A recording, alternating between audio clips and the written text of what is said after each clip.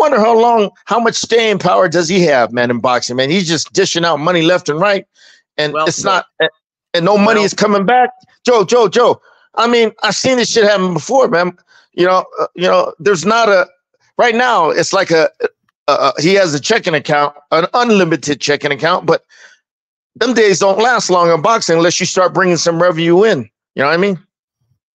Yep. And guys, the biggest red flag that he's concerned with money coming back. And once again, right now he's subscribing to the ideology of Field of Dreams, Kevin Costner. If we build it, they will come. Well, that's not the case. At Yeah. least not in boxing. Okay. Not You've boxing. got to cultivate that attraction. And so far, Crawford versus Madrimov in LA in a 22,000 seat venue has not even sold 11,000 tickets. I'm surprised they did that many. I thought they would probably do five. yeah. Well, So they I'm did 11. nice, brother. No, Well- they haven't done 11, and it's more like nine. Well, still, wh- when's the fight anyway, Joe? August 3rd, couple weeks. Oh shit. Yeah. Yep. Yeah.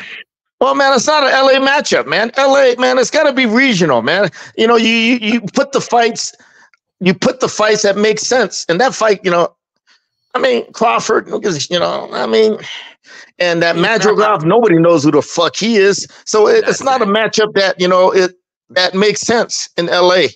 You know, maybe in uh, Omaha, Nebraska, but not in fucking LA.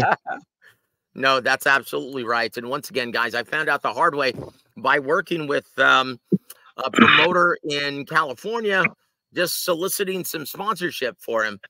And I found out the hard way that that is become UFC country. Like it's Yeah. crazy. Even bars, even breweries are like, well, that's not a good fit. We don't even show boxing at our events, at our uh, establishments.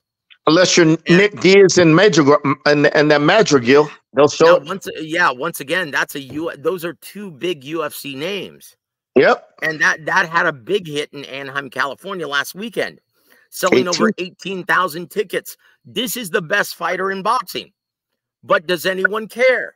Once again, that's a big, big problem, and this tells me everything, Coach. If Turki Al Sheikh didn't care about anything coming back, why is this on pay per view? Now, who determines what goes on pay per view and what doesn't? That's the network. So that tells me that Turki Al Sheikh is that's a very high price tag on the licensing fee. It's put he's gonna lose money, Joe. Yep. It's put it on, it's put him in a position to put it on pay per view out of necessity. Now, if he didn't care, he would put this on DAZN without pay per view so everyone would see it. He'd put this on ESPN so everyone would see it. But because This it's fight- behind a but, but because it's behind a revenue stream, it's going to limit the number of eyeballs ultimately. Joe, And what does bottom line is, let me cut it short, Joe. He's gonna lose money on this show, okay? Because uh, I bet you if ticket sales are going slow, I guarantee you a pay per view is gonna be a flop. Okay, I, I I'm su- I'll be surprised if it does over a hundred thousand. Okay, Well, look, look, look. Jesus M says this.